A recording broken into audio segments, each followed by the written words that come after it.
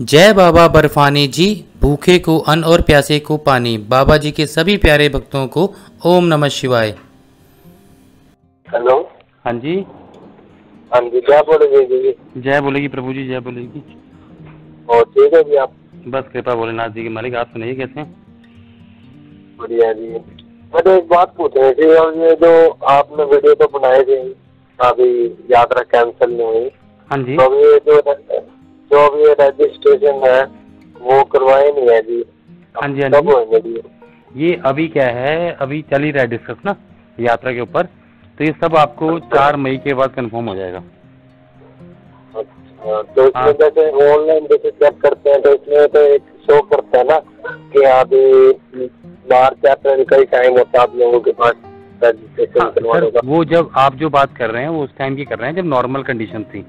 अभी हालात सारे चेंज हैं कोरोना वायरस है तो पता नहीं है किस टाइम क्या होगा क्या हो पाएगा है ना? ये सब चल रहा है अभी। तो ये तीन तारीख के बाद ही पता लग पाएगा। बिल्कुल तीन या चार तारीख के बाद ही पता लग पाएगा। बहुत सारी चीज़ें हो रही है अभी। कभी कह रहे हैं यात्रा कैंसिल होगी कभी कह रहे हैं कि मेडिकल दोबारा होंगी। इन सब चीज़ों पे बिल्कुल मत जाओ। शाइन बोर्ड जो अपडेट करेगा ना वही न्यूज़ में आपको बताता रहूँगा।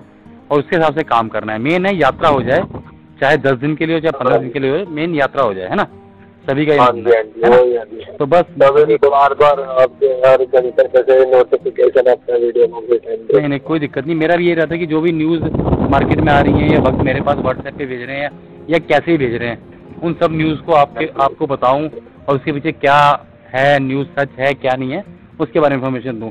तो ये शाइन तो बोर्ड बात थी हम्म हम्म। जो जो ये रजिस्ट्रेशन करवाते हैं तो इससे पहले हमको मेडिकल करवाना पड़ता है। हाँ जी इसके पहले आप जहाँ पे भी रहते हैं उस स्टेट का जो भी मेडिकल का लिस्ट आई होगी आपको पहले वहाँ से मेडिकल करवाना पड़ेगा। उसके बाद आपका फिर रजिस्ट्रेशन होगा। वो मेडिकल लेकर बैंक में लेके जाना पड़ेगा। हाँ हाँ आपको अभी आपने मेरे ख्याल से सारी वीडियो देखी नहीं है आप मुझे ना व्हाट्सएप पे मैसेज कर देना एक है ना? लिख जय बोलेगी जय बोलेगी। जय बाबा बर्फानी जी भूखे को अन्न और प्यासे को पानी। ओम नमः शिवाय।